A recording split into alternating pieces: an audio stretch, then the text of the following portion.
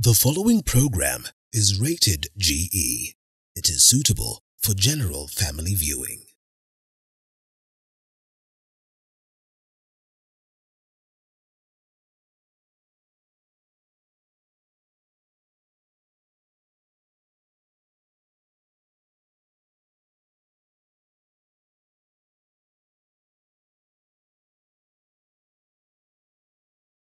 When a buyer finally finds their dream home after months of searching, the next step is to find the right furniture for the space.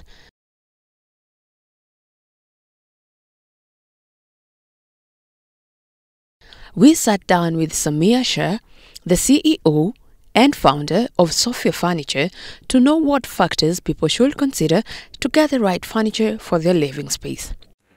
My name is Samir Shah, and I am um, the CEO and founder of Sophia Furniture Store.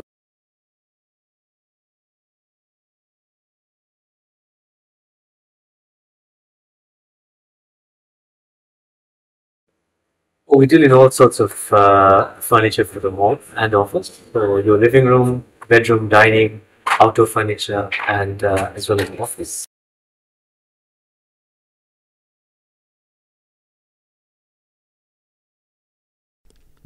What types of furniture exist in the market? So it really depends first on which room you want to uh, furnish. When you go to the living room, there's different types of sofas such as stationary sofas, recliners, L-shaped sofas, etc. And then you go into materials, um, you go into configurations with, a three-seater, a two-seater, and a one-seater, making a six-seater. Um, then there's things like the coffee tables, TV cabinets. Um, so everything comes together uh, depending on what you want. Um, in some bigger houses, you have a living room where you only have your guests coming in, more like your reception kind of place where you entertain. Uh, and then you have a separate room for your TV room, for your family room. Uh, some houses, uh, they can't afford that. So you only have one room, which is a living room, which is your family room, and your TV room. So yeah, it all, it all depends on, on what room you're furnishing. We know every living room has its own decorating challenges. Are you aiming for a cozy living room your family can enjoy? Is your small living room too cozy to accommodate your big ideas? Maybe you want to highlight some incredible windows with a view, or you have a tricky fireplace or French doors to work around. Meeting all your criteria can be stressful without a plan. No doubt. So, how can one furnish a small living room space? So I always tell people first look at the, the, the plan of how it is. Look at where the windows are so that you know where the natural light is coming in. Uh, if it's a typical house, uh, a typical house in, in Nairobi, Kenya, and you are looking at the TV being placed, sometimes it'll be placed opposite the the window on the other side. Some people don't like that because they're like, no, I don't want to put TV. So it, it really depends on the individual as well, uh, how you how you place things, also where the doors are coming into the living room, and uh, if it's a small living room, then you have to look at sometimes uh, storage and space saving things. So you have sometimes clients asking for, can this bed turn, I mean, can this sofa turn into a bed? So is it a sofa bed? Um, they'll not go for seven seater sofas. Um, they want to take things like recliners because they feel there's a multifunctionality to it. Know? Somebody feels that they're paying a certain amount of money, I want to milk that money 100%. So I need to make sure it has cup holders, it has extra storage, it can recline, you know, uh, or it can turn into a, into a bed. Um, so yeah, it all depends, again, also on the size of the family.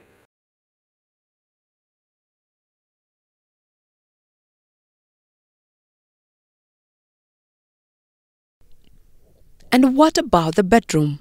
Again, uh, space is, is always an issue. And these days I tell people our new apartments, I think, are being built more uh, smaller and cozier. So again, um, typically you would have people doing uh, the bed uh, with the head with the head headboard right against the wall. You have your two nightstands. Uh, everyone wants to go for queen size, some can't afford or even fit uh, king size into that space. So you will see them going for a queen size. So this is where also customization also helps when you're, when you're buying. If you're buying from someone who actually has those options. Um, sometimes you don't want to have two nightstands. Maybe you want to put one on one side and then take the other nightstand and fit it in another place. I've seen interior designers doing that as well. Uh, or just slash the two nightstands from from from there. Put some simple stools. Put a dresser uh, on the other side with a mirror. Uh, people also want uh, things that are foldable, things that are you have sliding mirrors on the dressers these days where you have storage at the back. It's all about again going back to the same thing: is how much space do you have? Do I have multifunctional uh, furniture that has storage solutions? Uh, you have beds that open up you have extra storage. They have the ones with the trundle. Um, so yeah, again. Please, so arts and plants I would put under interior uh, decorating. These things are all put there to, to personalize your space, to embellish your space with your, touch. Yeah, if some guys don't like plants, some, some guys don't like art. Uh, some people like glass vases, some people like uh, natural clay uh, type of pots. So it all depends on what somebody wants to do with it. But generally speaking, these things are to personalize the space, to embellish the space, to make it a little bit more homely, and, and, and to, to fill it up, so to speak, with your touch. No one actually thought too much about the balconies until COVID happened, right? So people didn't have places to go out to, so they had to make their own outdoor space. So it's interesting what you see. People have uh, the trends in artificial grass have um, uh, really uh, picked up. A lot more people are buying artificial grass because we have balconies and concrete jungles where we're trying to make our place as natural as possible. So I've seen a lot of people uh, getting grass, uh, artificial grass, putting down artificial plants as well, because people are living busy lifestyles. They don't have time to look after plants as well. Uh, so they put these things, uh, swings have been very common in balconies. And then you have your your, your basic two-seater with a the centered uh, table. Now, let's look at the dining area. How can one set it up to look more appealing? So a nice thing that most people don't have noticed don't do, but now I think the trend is picking up with this, is having your buffet and hutch. So you have a side table next to the dining where you put your, you lay your, your plates, you put the serving bowls, uh, all the things that need to be served, the glasses, glass of water. Some people have your dispenser it's over there.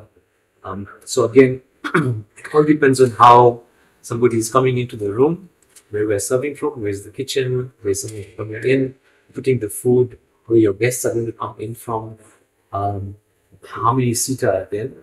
We're going to put a, a, a carpet underneath it. Then start thinking about kids uh, spilling food down that uh, carpet. Um, so I guess it's, uh, again, go back to my key thing, the size. So they're different. They say different strokes for different folks.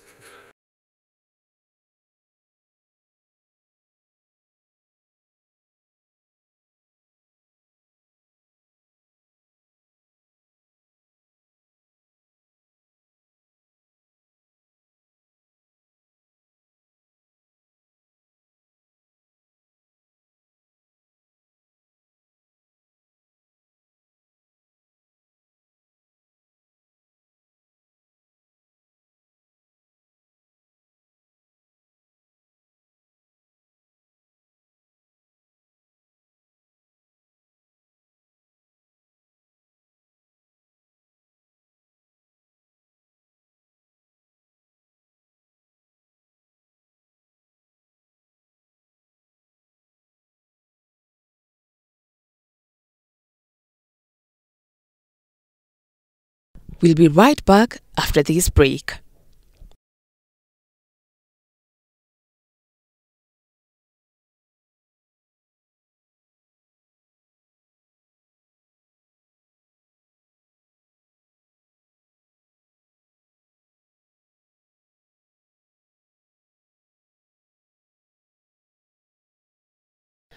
Welcome back.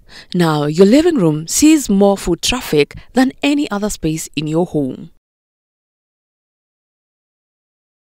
Whether you're reclining on a sectional sofa to watch TV or entertaining guests, the way you use this space constantly means it not only needs to look great but also work hard.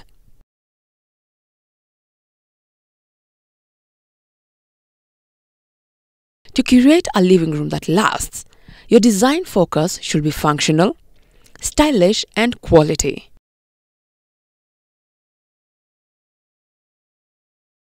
As trends come and go, it is important to create a living room that prioritizes your comfort and aesthetics. Now, let's look at some of the current trends in the market. So the trends, funny enough, haven't. Uh, I think Kenyans we have a very traditional sense of style when it comes to our homes, and it is based on our growing up influence. So we have a set of people who uh, largely uh, we consume a lot of media. Our media comes from the West, so we're talking about America. So you notice this is also where the trends of recliners American style sofas comes into play. So very traditional uh, looking uh, sofas, recliners also.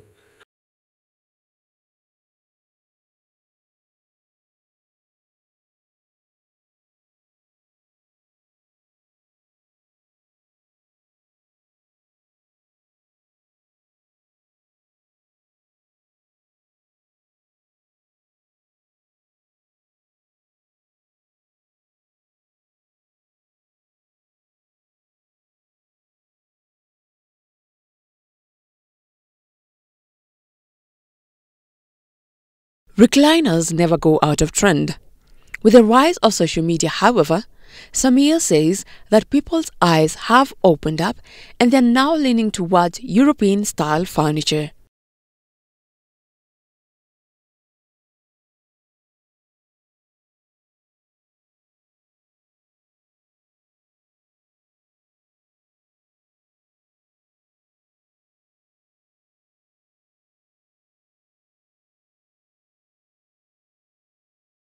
So you have the traditional guys, like the recliners or anything, but even then, you know, a thing we, we've noticed with uh, so, I, mean, I don't know if it's a human thing or it's a thing, but I go to my neighbor's house or my friend's house, I see that couch, I'm like, it looks really nice. Also, actually getting to uh, experience and see be exposed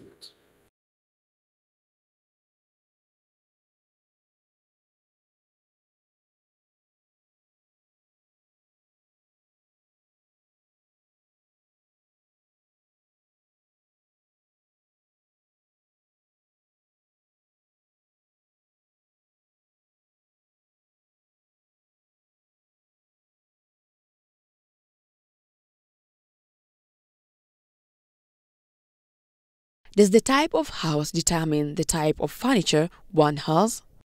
Yeah, does. Again, it is still prepared uh, the space. One bedroom, two bedroom. If it's like a bed sitter, uh, somebody would want to have like I said, the sofa bed. They can't have space for a six seater, so they opt for just taking a three seater, which has a sofa bed in it. There's also a trend that was happening in the states way back when was the pull-out uh, type of bed. Yeah, so it'd be a sofa first. Then after when it's time to go to sleep, just easily push the sofa to one side or fold the sofa to one side and pull down uh, bed.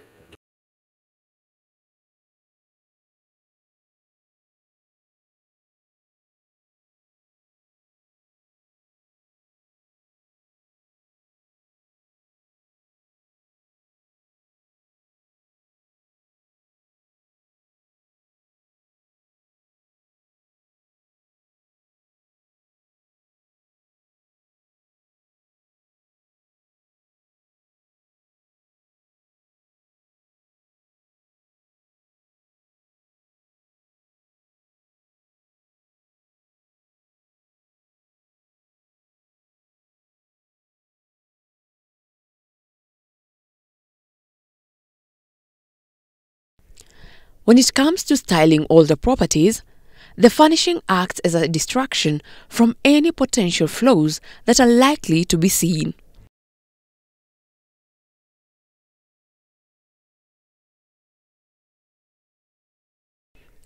If there is no furniture or furnishings to distract the eye, the crack near the architrave or the old window frames becomes glaringly obvious.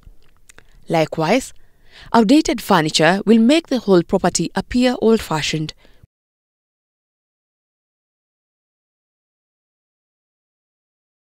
By simply replacing a worn out sofa with a clean, modern one, or adding some bright scatter cushions, you can instantly reinvigorate the room.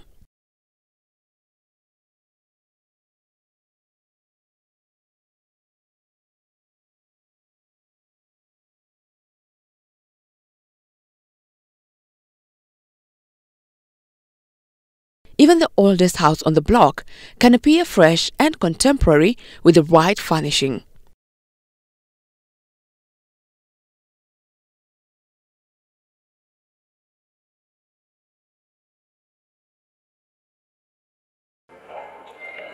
Well, it's Karibuni Soft Life. That's what I always tell people. That's our slogan. So come on down.